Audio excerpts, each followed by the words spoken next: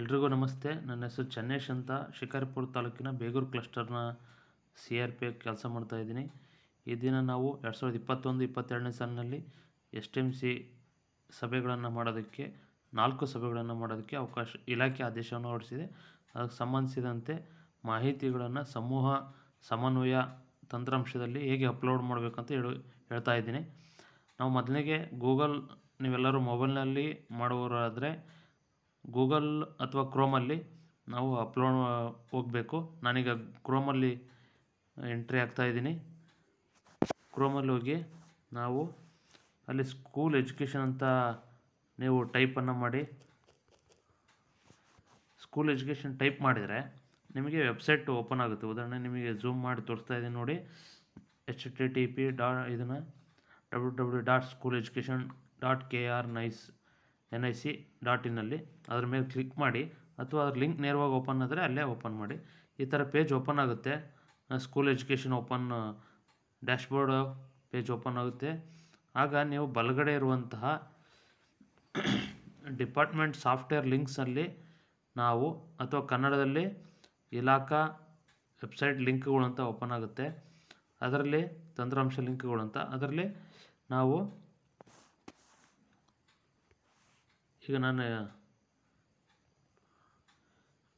Mark ಮಾಡಿದ್ದೀನಲ್ಲ, ಅಲ್ಲಿ ನಾವು ಓಪನನ್ನು ಈ dot government software engineer service ಇದೆಯಲ್ಲ, ಅಲ್ಲಿ ಓಪನನ್ನು ಅದ್ರ ಮೇಲೆ ಕ್ಲಿಕ್ ಮಾಡಿ ಕ್ಲಿಕ್ ಮಾಡಿದ ಮೇಲೆ ಪಾಪಪ್ ಓಪನ್ ಆಗುತ್ತೆ. ಪಾಪಪ್ ಮೇಲೆ ಈ ಥರ ಓಪನ್ ಆಗುತ್ತೆ. ಅದನ್ನು ಓಕೆ ಕೊಡಿ.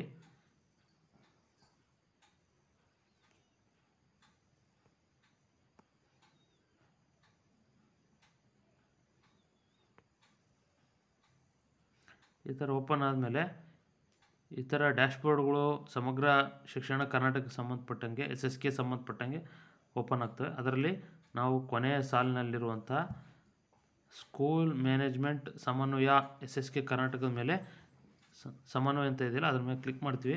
ಮೊಬೈಲಲ್ಲಾದರೆ ಈ ಥರ ಓಪನ್ ಆಗುತ್ತೆ. ಇದರಲ್ಲಿ ನಾವು ಏನು ಮಾಡಬೇಕು? ಮೂರು ಗೆರೆ ಇದೆಯಲ್ಲ, ಆ ಗೆರೆ ಮೇಲೆ ನಾವು ಟಚ್ ಮಾಡಿದರೆ ಅಲ್ಲಿ ಓಪನ್ ಆಗ್ತದೆ. ಓಪನ್ ಆದಮೇಲೆ ನಾವು ಲಾಗಿನ್, ಕೊನೆಯ ಅಂಶ ಏನಿದೆಯಲ್ಲ, ಲಾಗಿನ್ ಮೇಲೆ ಕ್ಲಿಕ್ ಮಾಡಬೇಕು. ಲಾಗಿನ್ ಮೇಲೆ ಕ್ಲಿಕ್ ಮಾಡಿದ ಮೇಲೆ ಸ್ಕೂಲ್ ಲಾಗಿನ್ ಓಪನ್ ಆಗುತ್ತೆ. ಸ್ಕೂಲ್ ಲಾಗಿನ್ ಮೇಲೆ ಕ್ಲಿಕ್ ಮಾಡಬೇಕು. ಯೂಸರ್ ನೇಮು, ಪಾಸ್ವರ್ಡ್ ಕೇಳ್ತಾ ಇದೆ. ಯೂಸರ್ ನೇಮ್ ಮೇಲೆ ನಿಮ್ಮ ಸ್ಕೂಲ್ನ ಡೈಸ್ ಕೋಡನ್ನು ಕ್ಲಿಕ್ ಮಾಡಿ. ನಾನೊಂದು ಉದಾಹರಣೆಗೆ ನಮ್ಮ ತಾಲೂಕಿನ ಬೇರೆ ಒಂದು ಸ್ಕೂಲ್ನ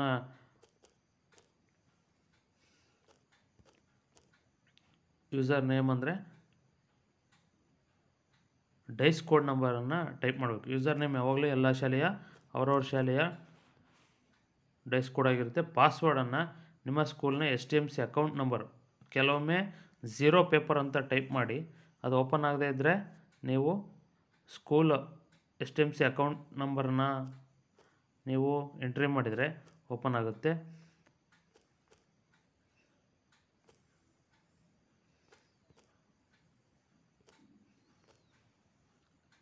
ಓಪನ್, ಇದು ಎಂಟ್ರಿ ಮಾಡಿದ ತಕ್ಷಣ ಲಾಗಿನ್ ಕೊಡಿ. ಲಾಗಿನ್ ಕೊಟ್ಟ ತಕ್ಷಣ ಈ ಥರ ಓಪನ್ ಆಗುತ್ತೆ. ಮೊಬೈಲಲ್ಲಾದರೆ, ಮೊಬೈಲಲ್ಲಿ ಈ ಥರ ಓಪನ್ ಆದರೆ ನಾವೇನು ಮಾಡಬೇಕು? ಮೂರು ಮೂರು ಗೆರೆ ಇದೆ. ಅದು ಕಾಣ್ತಾ ಇಲ್ಲ ನಿಮಗಷ್ಟೇ ಆ, ಬಲಗಡೆ ಇರುವಂಥ ಮೂರು ಅಡ್ಡ ಗೆರೆ ಮೇಲೆ ಕ್ಲಿಕ್ ಮಾಡಬೇಕು. ಕ್ಲಿಕ್ ಮಾಡಿದರೆ ನಮಗೆ ಈ ಥರ ಪೇಜ್ ಓಪನ್ ಆಗುತ್ತೆ. ಪೇಜ್ ಓಪನ್ ಆದ ತಕ್ಷಣ ಇದರಲ್ಲಿ ಹೋಮು, ಸರ್ಕ್ಯುಲರು, ರಿಸೋರ್ಸು, ಮಾಡಲು, ರಿಪೋರ್ಟ್ಸ್, ಸೈನ್ ಔಟ್ ಅಂತ ಇದೆ. ನಾವು ಮಾಡಲ್ ಮೇಲೆ ಕ್ಲಿಕ್ ಮಾಡಬೇಕು. ಮಾಡಲ್ ಮೇಲೆ ಕ್ಲಿಕ್ ಮಾಡಿದ ಮೇಲೆ ಇನ್ಪುಟ್ ಫಾರ್ಮಲ್ಲಿ ಕ್ಲಿಕ್ ಮಾಡಿ ಇನ್ಪುಟ್ ಫಾರ್ಮ್ ಮೇಲೆ ಕ್ಲಿಕ್ ಮಾಡಿದಾಗ ಈ ಪೇಜ್ ಓಪನ್ ಆಗಿದೆ ನೋಡಿ. ನೀವು ಕಾಣ್ತಾ ಇರ್ಬೋದು, ನಾನು ಝೂಮ್ ಮಾಡಿ ತೋರಿಸ್ತಾ ಇದ್ದೀನಿ. ಡೈಸ್ ಕೂಡ, ಆ ಸ್ಕೂಲ್ನ ನಾನು ಓಪ್ ಒಂದು ಸ್ಕೂಲ್ನ Togarsi ಕ್ಲಸ್ಟರ್ನ G L P S Chikkamagadi Tanda open ಮಾಡಿದ್ದೀನಿ. School code DISE code district name block name cluster name ಮತ್ತು ಸ್ಕೂಲ್ ನೇಮು ಓಪನ್ ಆಗಿದೆ. ಇದರಲ್ಲಿ ಅದು ಬಂದಿರುತ್ತೆ ಆಟೋಮೆಟಿಕ್ಲಿ ನೆಕ್ಸ್ಟ್ ನೀವು ಎಂಟ್ರಿ ಮಾಡಬೇಕಾಗಿರೋದು order of S M C meeting conducted. ನೀವು ಯಾವ ಸಭೆಯನ್ನು, ಆದೇಶದ ಪ್ರಕಾರ ಯಾವ ಸಭೆಯನ್ನು ಕಂಡಕ್ಟ್ ಮಾಡಿದ್ದೀರಿ ಅಂತ ಓಪನ್ ಅದರ ಮೇಲೆ ಕ್ಲಿಕ್ ಮಾಡಿ, ಸೆಲೆಕ್ಟ್ ಮೇಲೆ ಕ್ಲಿಕ್ ಮಾಡಿದಾಗ ಒಂದನೇ ಮೀಟಿಂಗು, ಎರಡನೇ ಮೀಟಿಂಗು, ಮೂರನೇ ಮೀಟಿಂಗು, ನಾಲ್ಕನೇ ಮೀಟಿಂಗ್ ಇದೆ. ನಾವು ಫಸ್ಟ್ ಮೀಟಿಂಗನ್ನು ಎಂಟ್ರಿ ಮಾಡ್ತಾ ಇದೀವಿ ಈಗ ಒಂದನೇ ಸಭೆ ಅಂತ. ನೀವು ಎರಡನೇ ಸಭೆ ಮಾಡುವಾಗ ಎರಡನೇ ಸಭೆ ಎಂಟ್ರಿ ಮಾಡಿ. Next date of S T M C meeting conducted.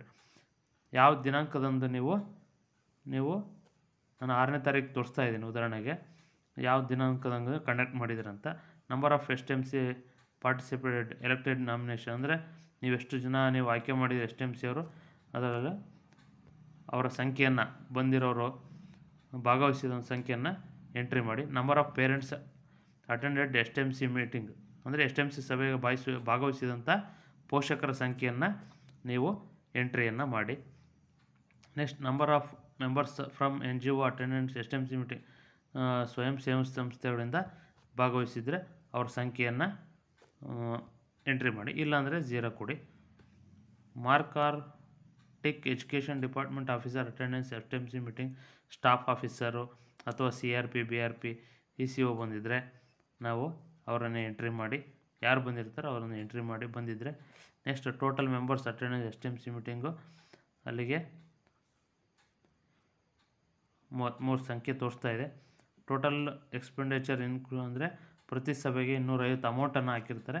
ನಾನು ಅದನ್ನು ಅಮೌಂಟನ್ನು ಎಂಟ್ರಿ ಮಾಡ್ತಾಯಿದ್ದೀನಿ next discussed points in the meeting ಯಾವ್ಯಾವ ಪಾಯಿಂಟ್ಗಳನ್ನು ಅಂಶಗಳನ್ನು ಚರ್ಚೆ ಮಾಡಿದಿರಿ ನೀವು ಅನ್ನೋದ್ರ ಬಗ್ಗೆ. ಒಂದೇದು ನಾವು ಕೊಟ್ಟಿದ್ದೀವಿ, ಹಾಗಾಗಿ ಎಸ್ ಕೊಡಲೇಬೇಕು. ಯಾಕೆಂದರೆ ನೀವು ಆ ಚರ್ಚೆಗಳನ್ನು ಮಾಡಲೇಬೇಕು. ಎನ್ ಇ ಪಿ ಬಗ್ಗೆ ಚರ್ಚೆ ಮಾಡಿದರೆ ಎಸ್ ಕೊಡಿ. ಫಂಡಮೆಂಟಲ್ ಲಿಟ್ರಸಿ ಆ್ಯಂಡ್ ನ್ಯೂಮರಸಿ ಬಗ್ಗೆ ಎಫ್ ಎಲ್ ಎನ್ ಬಗ್ಗೆ ಚರ್ಚೆ ಮಾಡಿದರೆ ಎಸ್ ಕೊಡಿ. ಔಟ್ ಆಫ್ ಸ್ಕೂಲ್ ಚಿಲ್ಡ್ರನ್ಸನ್ನು ನೀವು ಮಾಡಲೇಬೇಕು, ಅದನ್ನು ಎಸ್ಕೊಡಿ. ನೀವು ಚರ್ಚೆಯನ್ನು ಮಾಡಿ school development plan S T P ಪ್ಲಾನನ್ನು ಚರ್ಚೆ ಮಾಡಿದರೆ ಎಸ್ಕೊಡಿ. ನೆಕ್ಸ್ಟ್ ಡಿಸ್ಕಸ್ ಅದರ್ ಪಾಯಿಂಟ್ಸಿಂದ ಮೀಟಿಂಗ್ ಏನಾದರೂ ಇದ್ದರೆ ನೀವು ಅದನ್ನು ಬಾಕ್ಸಲ್ಲಿ ಎಂಟ್ರಿಯನ್ನು ಮಾಡ್ಬೋದು. ನೆಕ್ಸ್ಟು ಅಪ್ಲೋಡ್ ಫೋಟೋ ಫೋಟೋವನ್ನು ಅಪ್ಲೋಡ್ ಮಾಡೋದು ನಿಮಗೆ ಎಲ್ಲರಿಗೂ ಐನೂರು ಕೆ ಬಿ ಒಳಗಿರಬೇಕು. ಅಲ್ಲಿ ಜಿ ಪಿ ಜೆ ಫಾರ್ಮೆಟ್ ಅಂತ ಇದೆ. ನಾನು ನಿಮಗೆ ಝೂಮ್ ಮಾಡಿ ತೋರಿಸ್ತಾ ಇದ್ದೀನಿ G P J format G P J format ಅಂದರೆ ಫೋಟೋವನ್ನೇ ಹಾಕಬೇಕು. ಅಂದರೆ ನಾವು ವಾಟ್ಸಪ್ಪಲ್ಲಿ ಕಳಿಸ್ತೀವಲ್ಲ ಆ ಫೋಟೋ ಅದಕ್ಕೆ ನಾವು ಜಿ ಪಿ ಜಿ ಅಂತಾರೆ, ಅಂತೀವಿ. ಹಾಗಾಗಿ ಅದನ್ನು ನೀವು ಫೋ ಕ್ಯಾಮ್ರಾ ನೇರವಾಗಿ ಕ್ಯಾಮ್ರಾ ಫೋಟೋ ಹೊಡೆದು ಹಾಕ್ಬೋದು ಅಥವಾ ಫೋಟೋ ಸೇವ್ ಇದ್ದರೆ ಅದನ್ನು ಗ್ಯಾಲ್ರಿ ಹೋಗಿ ನೀವು ನೋಡಿ ಕ್ಯಾಮ್ರಾ ರೆಕಾರ್ಡ್ರು ಫೈಲಲ್ಲಿದ್ದರೆ ನೀವು ಅದನ್ನು ಎಂಟ್ರಿಯನ್ನು ನೇರವಾಗಿ ಅಪ್ಲೋಡ್ ಮಾಡ್ಬೋದು. Next upload photo maximum in G P T ಫಾರ್ಮೆಟಲ್ಲಿ ಮತ್ತೊಂದು ಫೋಟೋವನ್ನು ಅಪ್ಲೋಡ್ ಮಾಡಿ. ನೆಕ್ಸ್ಟು ಅಪ್ಲೋಡ್ ಮೀಟಿಂಗ್ ಪ್ರೊಸೀಡಿಂಗ್ ಅಂದರೆ ನಿಮ್ಮ ಶಾಲಾ ಎಸ್ ಎಂ ಸಿ ಸಭೆ ನಡೆಸಿದಂಥ ವರದಿಯನ್ನು ಒಂದು ಪೇಜು ಅಥವಾ ಎರಡು ಪೇಜ್ ಬರೆದು ಅದನ್ನು ಮ್ಯಾಕ್ಸಿಮಮ್ ಅಂದರೆ ಮ್ಯಾಕ್ಸಿಮಮ್ ಸೈಜ್ ಅಂದರೆ ಐನೂರು ಕೆ ಬಿ ಒಳಗಿರೋಂಗೆ ಪಿ ಡಿ ಎಫನ್ನು ಮಾಡಿ ಡಾಕ್ಯುಮೆಂಟ್ ಫೈಲ್ ಇದನ್ನು ಮಾಡಿ ನೀವು ಅದನ್ನು ಎಂಟ್ರಿಯನ್ನು ಫೈಲಲ್ಲೇ ಎಂಟ್ರಿ ಮಾಡಬೇಕು, ಪಿ ಡಿ ಎಫಲ್ಲೇ ಎಂಟ್ರಿ ಮಾಡಬೇಕು, ಅದನ್ನು ಅಪ್ ಅಪ್ಲೋಡ್ ಮಾಡಿ. ಎಲ್ಲವೂ ಐನೂರು ಕೆ ಬಿ ಒಳಗೆ ಇರಬೇಕು. ಕೊಟ್ಟ ನಂತರ ನಾವು ಸಬ್ಮಿಟನ್ನು ಕೊಟ್ಟು ಆ ಸಭೆಯ ಮಾಹಿತಿಯನ್ನು ಈ ಸಮೂಹ ಸಮನ್ವಯ ತಂತ್ರಾಂಶದಲ್ಲಿ ಅಪ್ಲೋಡ್ ಮಾಡಬೇಕು.